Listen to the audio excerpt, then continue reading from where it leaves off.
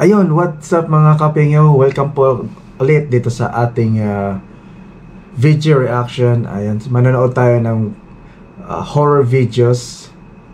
At bago tayo po magsimula, uh, please po pa-subscribe po sa ating YouTube channel at pa-likes at pa-share po.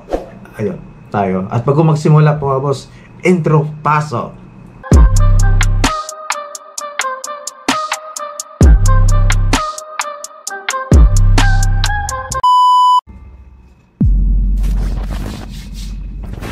Isang ina sa US ang mahilig mangolekta ng mga manika na may makatotohanan ng itsura. Parang hindi... Ay, grabe. Parang totoo. Nakakatakot. O parang isang tunay na Oh, bata. tignan mo. Pero hindi niya inaasahan na magkakaroon pala sila ng nakapangingilabot na karanasan. Kay nasa kanyang kwarto ay bigla na lamang itong nagsisigaw at agad siyang tumakbo para puntahan ito. At kaya naman inireview niya ang kuha ng CCTV mula sa kwarto nito at narito ang kanyang nasaksihan.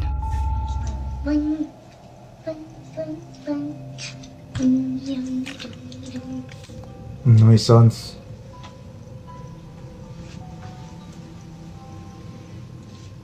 Uy, saan ba bandang sounds? Nasa lalim. Uy, uy, uy, uy. Ay, putik na yan. Dapat may kasama siya, ano. Ito nakakatakot to. Ito. Buti kala ko tao eh. Dapat ah, mga bata makasama talaga ng ano. ah, mga matatanda or yung parents na dapat kasama sa kwarto. Uy, ano yun? Ano yun? Uy, uy! Hinila. Puti, hinila. Ah, nakatakot.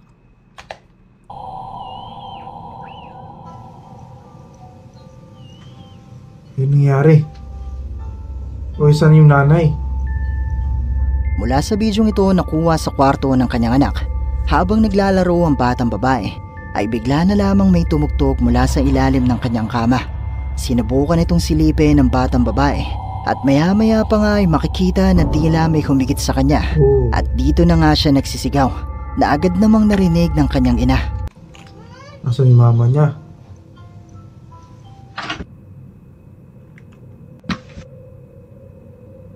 Nangyari?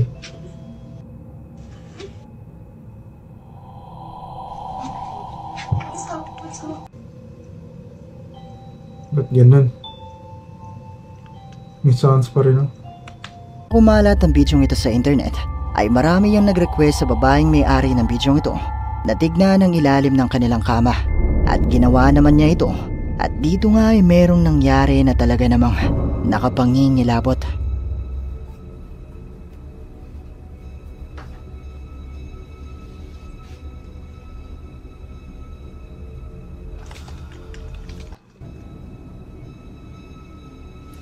Yun.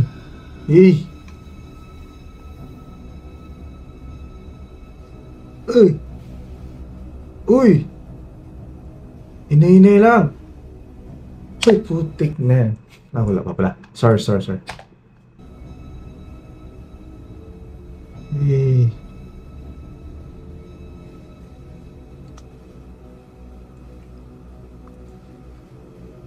Dilim. Yun. Ano yun? Ay, ano yung totoo? Totoong bata? Ay, putik. Ay, pist. Gumalo, nahulog tuloy ako. Nahulog.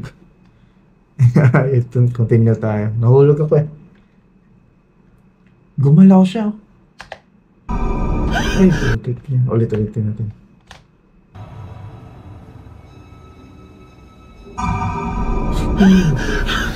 Grabe, tumayo yung balibo ko. Ako pa lang mag-isa dito. Ayun. Continue tayo guys. Nang sinubukan niyang silipin ang ilalim ng kama ng kanyang anak, ay nakita niya mula rito ang manika na kanyang ibinigay na maya-maya pa ay makikitang unti-unting gumalaw na para bang ito ay may sariling buhay.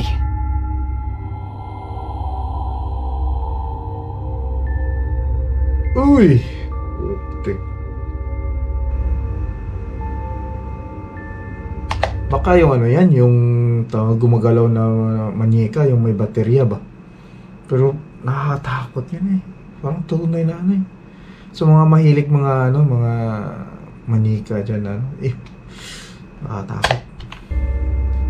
Ayon sa uploader ng video ito, ang manikang ito ay hindi dapat gumagalaw dahil hindi naman Ah, ito di baterya ah. at wala namang kahit Hindi anong pala siya baterya.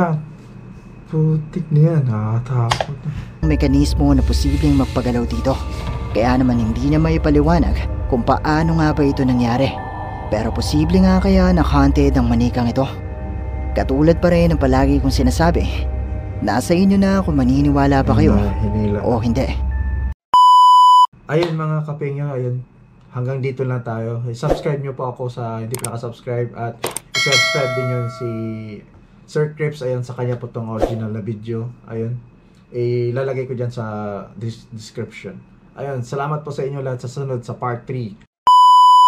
Ayun, subscribe kayo at i-click yung notification bell para uh, maging update kayo sa bagong uploads. Peace you. Thank you very much. Bye-bye.